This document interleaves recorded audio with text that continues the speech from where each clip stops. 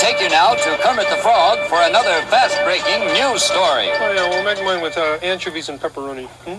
Oh, hi-ho, Kermit the Frog here of Sesame Street News, and I'm speaking to you today from Spain, where Christopher Columbus is about to set sail to discover America.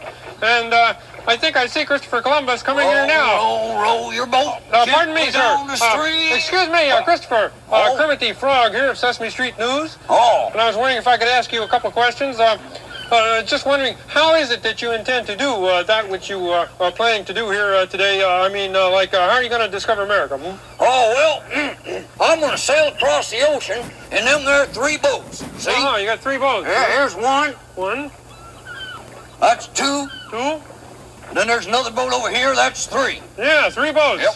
Well, that certainly sounds like a good plan, sir. I wish you well on it. Well, thanks a lot. Uh, but say, what time is it? Well, it's about uh, 1492. Oh, listen, if I'm going to discover America, I got to get going. Okay. Oh, there, sir, mateys. Hoist the mainsail, belay the jibber jabber, and jettison the supercargo. Bye-bye. Bye-bye. Bye-bye. Bye-bye. Oh, there it goes. Look at that. There goes the first boat. Wow. Hope he didn't forget the pizza. Okay, well, listen, uh, Christopher, you had uh, three boats, and you take away one boat, and that leaves two boats, right? Right. Because three take away one leaves two. That's right. We got to get the other one out right now. Uh-huh. Make mine the mizzenmast. Swab down the poop deck. Starboard aft. Port bow. Bye-bye, everybody. Bye-bye. Yeah, well, there goes there goes another boat there.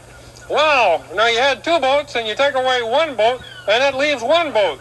Because two take away one leaves one. Right, you are. Right. Listen, I got to go before the other boat leaves. Okay? This is a very exciting moment, folks, and remember you saw it first on Sesame Street. All ashore, it's going ashore. Engines full ahead. Red sails in the sunset. Uh, Christopher, Mr. Columbus, hey, the boat is still tied to the dock. I say the boat is still tied to the dock.